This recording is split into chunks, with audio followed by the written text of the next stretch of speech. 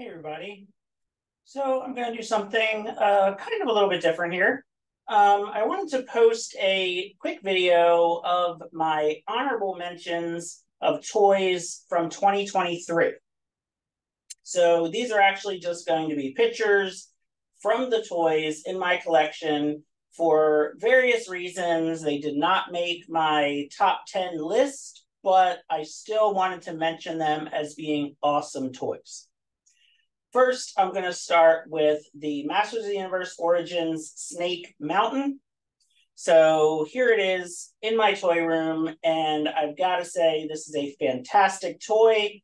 Um, absolutely love this thing. The vintage Snake Mountain was one of my favorite toys as a very little kid. Um, I actually played with it more with my Thundercats. Um, I actually had uh, Mumm-Ra living in Snake Mountain when I was a really little kid, I thought that Mumm-Ra and Skeletor were brothers, and I kind of thought that He-Man and Thundercats was kind of all happening within the same universe. Um, so I just played with those toys all together. Um, so I never had Castle Grayskull, but I had Cat's Lair. So Cat's Lair was kind of where the good guys hung out, and then Snake Mountain was where the bad guys all were. Um, so this toy, very, very nostalgic for me. And I think they did a fantastic job in Origins recreating and updating this toy. Uh, this probably would have been in the top two or three for me, but it's a little unfair because it's a playset, not an action figure. That's why I'm putting it in the honorable mentions video.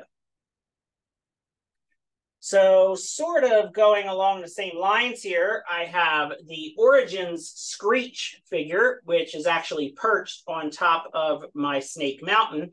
And this one I'm including as an honorable mention because, once again, the vintage Screech toy, I just loved that toy.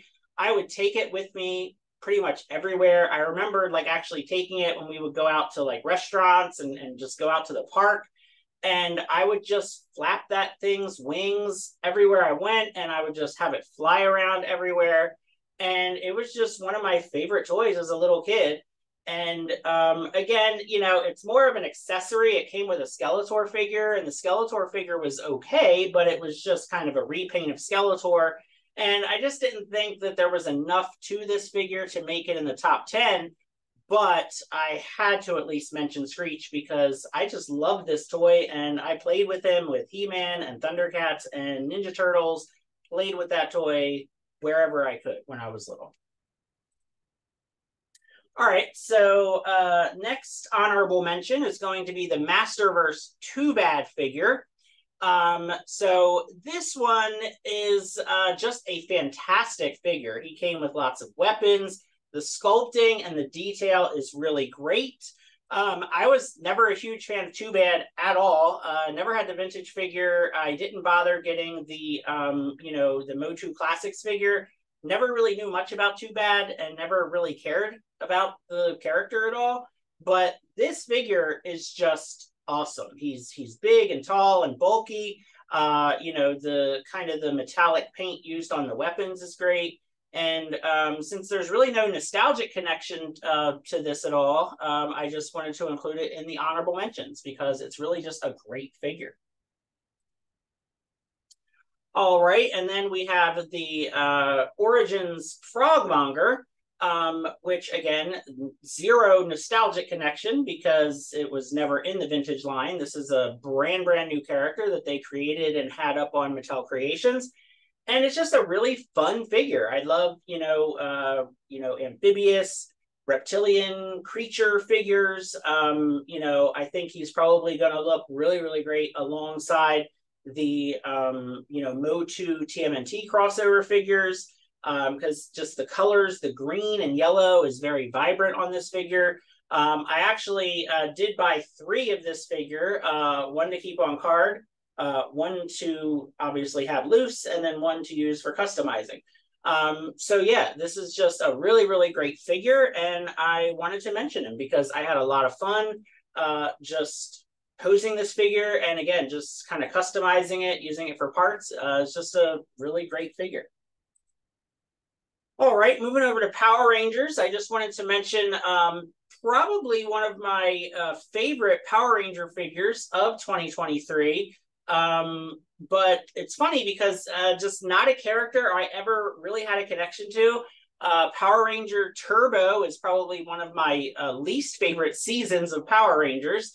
Um, but this Blue Centurion figure, the Lightning Collection folks did an absolute bang up, fantastic job on this figure. Uh, he has great little accessories, the paint, the detail, all the stoplight motif. Uh, you know, the head sculpt is great. Just this is a really, really fantastic figure. I almost bought two just to have two. Uh, that's how good this figure is. Uh, it, it just looks neat. Um, I know a lot of other, um, you know, people who did a review on it who are just going to use it in, you know, other toy lines. You know, people who don't collect Power Rangers, people who don't, you know, have anything to do with Lightning Collection.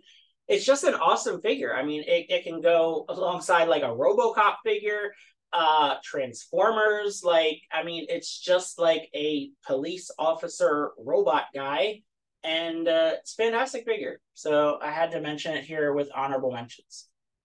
Uh, also, Power Rangers Lightning Collection, I wanted to mention the Alien Rangers five pack.